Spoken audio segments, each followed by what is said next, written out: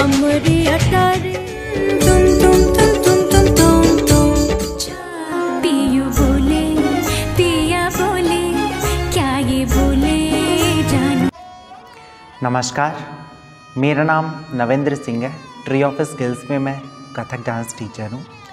आज का हमारा विषय है कथक नृत्य में दैनिक अभ्यास में क्या करें और कैसे करें। तो चलिए शुरू करते हैं। कथक नृत्य की शुरुआत करने के लिए हमें दैनिक रूप से तत्कार, हस्तक, चक्कर, हस्त मुद्राओं आदि को दैनिक रूप से अभ्यास करना होता है। तत्कार में पैरों को तालबद्ध तरीके से चलाते हैं। हस्तक में हाथों को लयबद्ध तरीके से पहले दाएँ और उसके बाद बाएँ हाथों को चलाते हैं।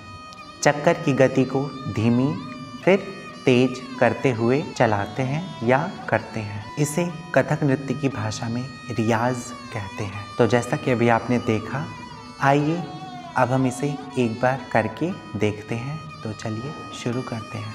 अब हम जानेंगे कथक में होने वाले दैनिक अभ्यास, यानी कि डेली एक्सरसाइजेस को, जिसे हमें रोज़ करना चाहिए, ठीक है?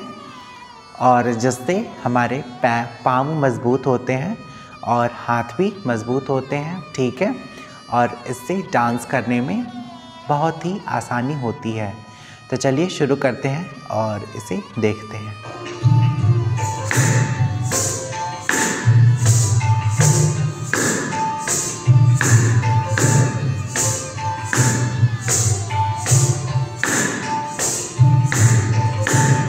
तो अभी आपने देखा तत्कार, इसे हम सीधे खड़े होकर करते हैं और इसमें पैरों को चलाते हैं। One two three four one two three four ठीक है? इस क्रम में। और आइए, अब हम आगे बढ़ते हैं और देखते हैं हस्तक।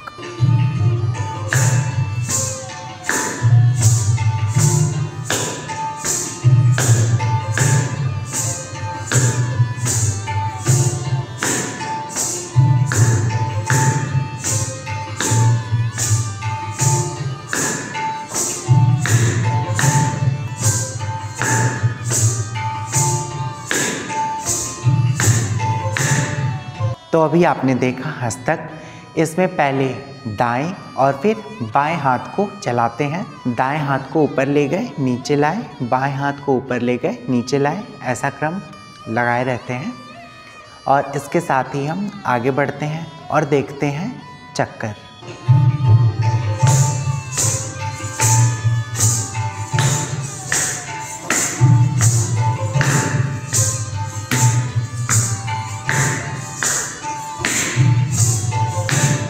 तो जैसा कि अभी आपने देखा, चक्कर इसमें गोल फेरिया लेते हैं, जिसे हम चक्कर कहते हैं। तो अभी आपने देखा, कथक का रियाज कैसे करें? तो सबसे पहले पैरों को चलाएँ, इसे ठीक करें। इसके बाद हाथों को चलाएँ, हाथों को ठीक करें।